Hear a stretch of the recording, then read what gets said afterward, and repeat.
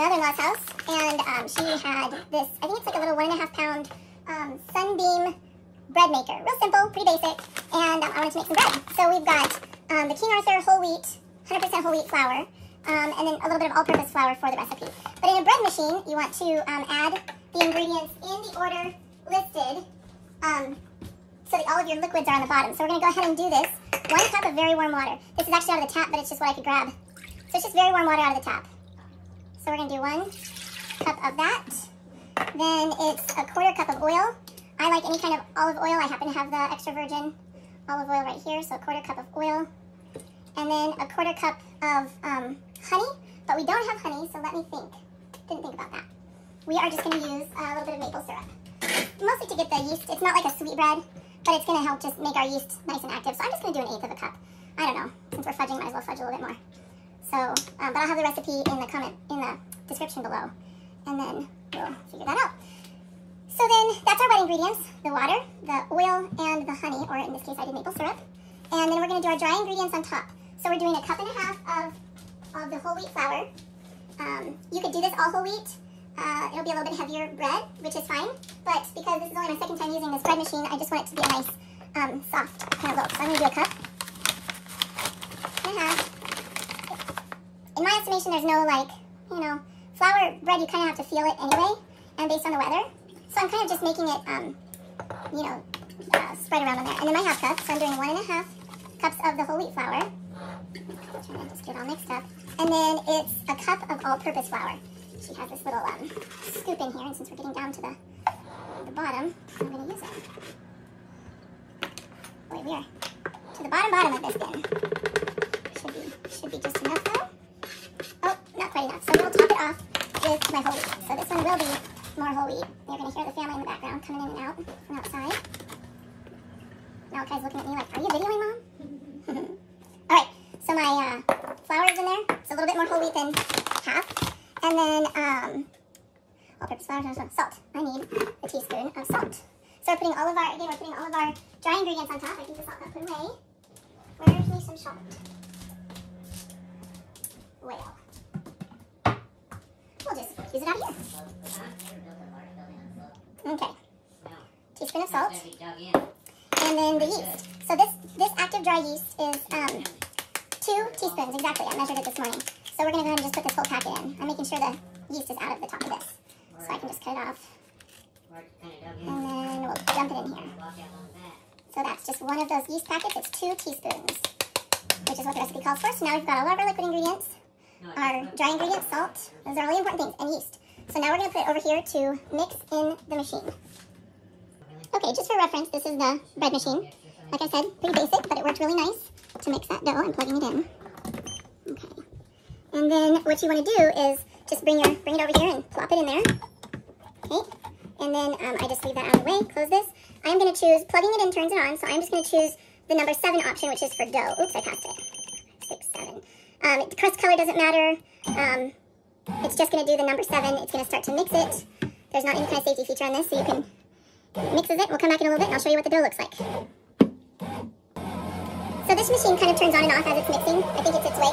But I always kind of, once it's in a dough ball, I always kind of just get the dry stuff off of the sides of it.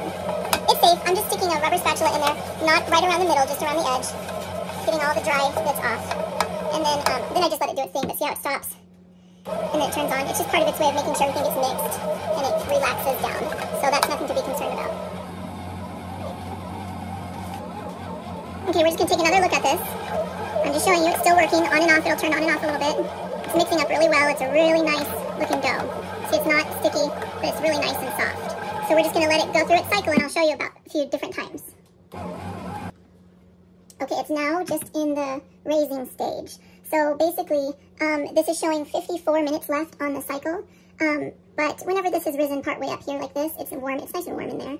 Um, then I'm going to go ahead and take it out and shape it like I want to shape for this um, batch of bread. So we'll resume then. Okay, so I think this is raised enough for what I want it for because I'm going to go ahead and shape it and then let it raise again for about 20, 30 minutes. So let me pull this out of here. There's like 30 minutes left on this cycle. Um, it would get nice and like this, but because I'm just using this as a dough recipe, um, I just, I don't need it to do that. So we can hit stop on here. Get this out of here. I trouble pulling it out earlier. Okay. Okay, just pull it right up right. There we go. So then we're gonna go over here to this counter. And I think, just kind of for fun, I'm gonna make some, uh, okay, so this was my loaf from earlier. This is the exact same recipe, but I did it in a loaf pan. So that turned out really nice. But for this one, I think just for fun, I um I want to make like uh, hot dog type buns or hoagie buns. We'll just make maybe like four of them in here and just see how they turn out. I was trying to find, see I'm just pulling this out of here. Came out pretty nice. Um, the hook is in here. Sometimes that comes out, sometimes it doesn't. So I want to spray my hands just a little bit. Okay, and at this point, we're experimenting a little bit because I, um, see, that might make, hmm. Okay, so I, I don't have a, a cutting board under here. I'm just gonna, I'm not gonna um, saw. I'm just gonna do that. Let's see, that's gonna be too big. I might decide to get a different pan. Like I said, we're experimenting, so I'm, see, I think I wanna do that size. Half and half and half and half. Generally, they'll be about the same size. Now, this pan isn't right, so I'm gonna go right over here. I think I know just the one I want.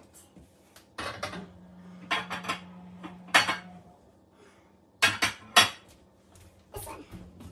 It's a little bit smaller than a 9 by 13, but I think it's going to fit fit nicely kind of the idea I have. So now I'm going to make um, maybe like hot dog bun type things. I'm going to get it. I'm, I'm like kind of creating a, kind of creating like this. This is how you would make dinner rolls. Okay, and then you could just plop it right in there. And I would do like eight of them in here. But I want to try hot dog buns. So now I'm gonna, I'm just gonna roll these out a little bit to about the length of this. I know they're gonna raise up, so see I'm, I'm not used to doing it one-handed. Kind of like this.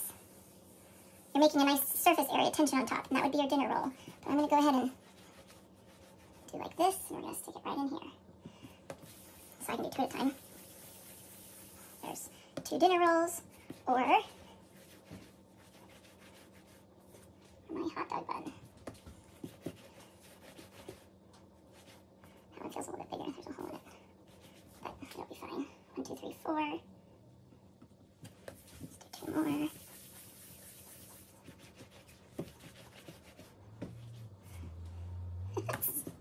Ugh. Okay. That one's deformed. Oh well. You know what? If this all, maybe we'll just turn these into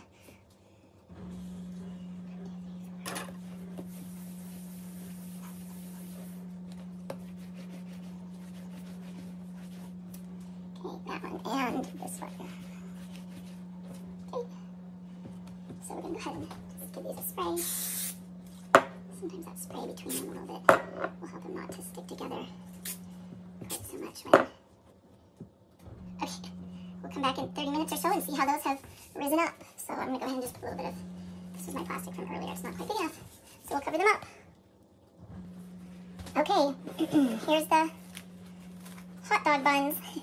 They might stick together too much, almost like a loaf, but we'll see. There's got to be a better way, but we'll see how these turn out.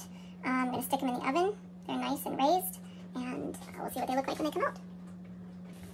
This is my loaf from the, the first batch. Um, I always prefer to put mine in the bag. it's cool, but I always prefer to put mine in the bag for a little bit, you know, before I slice it, just because it kind of softens the top, and the knife just runs better. It's just a preference. It's not that big. Okay, I'm going to take these out. I think we're just going to call them done. Um, so I'll let them sit here just a little bit like this, and then I'll turn them, well, I'll just turn them out now onto this. Let me get it here where you can see it good. Okay. In fact, let's just do it like this. I think they'll come out pretty easy. Try not to burn. Burn. Anybody? Okay, there we go. There's our, these just, these might turn out okay.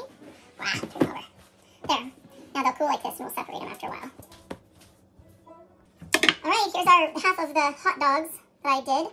So they're a little bit big. I'm not sure how you'd cut them. Maybe open them up this way. Um, who knows? They're just a really funny shape. Uh, I'm actually going to cut them just to make some like garlic bread out of them for tonight. Um, so here we go. That's it. It was really fun, really nice.